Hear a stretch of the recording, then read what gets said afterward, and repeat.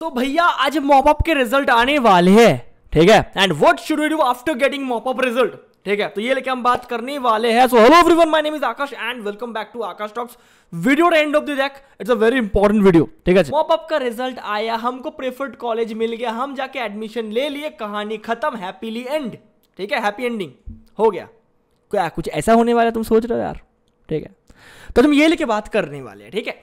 देखो यार मॉपअप का जो रिज़ल्ट आज आने वाले भैया, कितने बजे आने वाले यार, वो तुमको पता है कि यार वेब जी थोड़ा लेट करते हैं बट आ जाएगा। ठीक है? अच्छा मैं तीन से चार चीज़ बोलने वाला हूँ कि अगर मॉपअप के अंदर जो बच्चे बैठे हो, अगर तुमको प्रेफर्ड कॉलेज मिल गया प्रेफर्ड ब्रांच मिल गया तो ऑब्वियसली तुम जाके एडमिशन ले लोगे बिकॉज़ इसके बाद कोई और राउंड है नहीं। सिंपल सा बात है। कहानी खत्म। बट अगर हमको अलॉटमेंट नहीं आया, या फिर अगर हमको एक्सपेक्टेड या फिर प्रेफर्ड ब्रांच नहीं आया या फिर प्रेफर्ड कॉलेज नहीं आया, तब हम लोग क्या करने वाले हम ये लेके बात करने वाले हैं इस वीडियो के अंदर। ठीक है? एक बात सुनो यार, देखो काउंसलिंग बेटा दो प्रकार की होते हैं, ये सबको पता है राइट क्या क्या होता है? एक होता है बेटा सेंट्रलाइज काउंसलिंग जो तुम लोग अभी कर रहे हो। एक होता है डिसेंट्रलाइज्ड काउंसलिंग ठीक है? पहले हम आते हैं बेटा सेंट्रलाइज काउंसलिंग सेंट्रलाइज काउंसलिंग के अंदर round one round two and round mop up round जो अभी हो रहे हैं, जिसका रिज़ल्ट आज आने वाला या फिर आ गया है, तुम जस्ट जिस टाइम में इस वीडियो को देख रहे हो, ठीक है?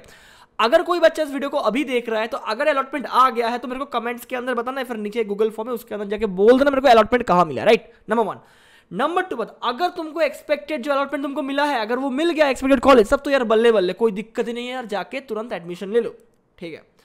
अगर नहीं आया तो भैया क्या हम डिसेंट्रलाइज काउंसिलिंग में बैठे भैया डिसेंट्रलाइज काउंसिलिंग का मतलब क्या होता है या फिर what to do after mop up round ठीक है हम पहले थोड़ा बात करते हैं मॉपअप का ठीक है? देखो यार मैं एक चीज़ इस बार देख रहा हूँ कि यार मैंने एक पोल किया था। पोल के अंदर मैं ये देख पाया कि यार तुम में से थर्ट फोर्टी टू परसेंट बच्चे मॉपअप में इस बार बैठे हो।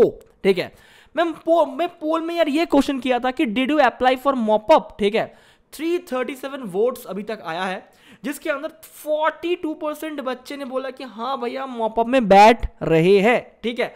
एंड राउंड टू तक ऑलरेडी 32 परसेंट बच्चे ने एडमिशन ले लिया। अगर मैं पकड़ रहा हूँ कि अगर राउंड टू में 32 परसेंट बच्चे ने यार एडमिशन ले लिया है तो अगर 100 बच्चे को पकड़ा जाए तो 32 परसेंट ऑफ़ बच्चे ने ऑलरेडी एडमिशन ले लिया।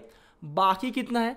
68 परसेंट बच्चे तो 68 परसेंट बच्चे में से 42 परसेंट अगर इसका हम निकालेंगे तो ये बच्चा मोर और लेस बैठ रहा है मॉपअप में। मैं पकड़ रहा हूँ, चलो यार, सौ बच्चे में यार, बत्तीस बच्चे एडमिशन ले लिया, अभी तक, ठीक है?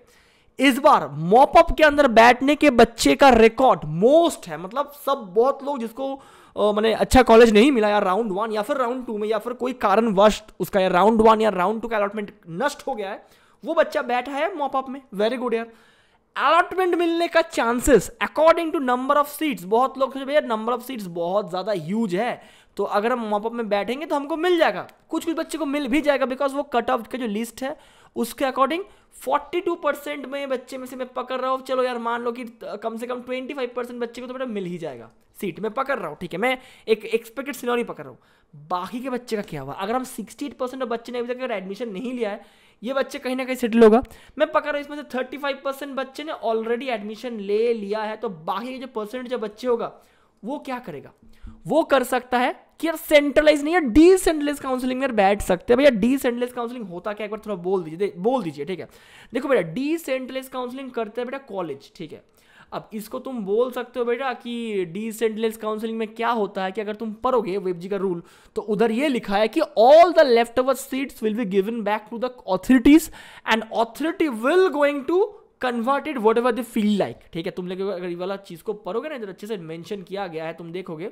ठीक है इज़ अ लास्ट राउंड ये एकदम अंतिम राउंड है। ठीक है ऑल रजिस्टर्ड कैंडिडेट जो एडमिशन नहीं लिया, वो बैठ सकते हैं फिर जिसको अलॉटमेंट नहीं मिला, वो बैठ सकते या फिर जो रजिस्टर्ड नहीं किया था, वो बैठ सकते हैं, ठीक है? अच्छा क्या बोला है? This is the only mop up round and it's a last and final round after this round W B J board will hand over the custodian of all vacant seat to the concerned authorities at their end. अब बात करते हैं भैया, अगर concern authorities को सारा seat दे देगा तो क्या कंसर्न अथॉरिटीज डिसेंट्रलाइज काउंसिलिंग के वे में करते हुए क्या हमको सीट देगा। प्राइवेट कॉलेज जो है बेटा, वो डिसेंट्रलाइज काउंसिलिंग की सीट को बेटा मैनेजमेंट कोटा की सीट में कन्वर्ट कर देते हैं। मैं तुमको ओपनली बोल रहा हूँ, ये फैक्ट है। गवर्नमेंट कॉलेज ये नहीं करता है।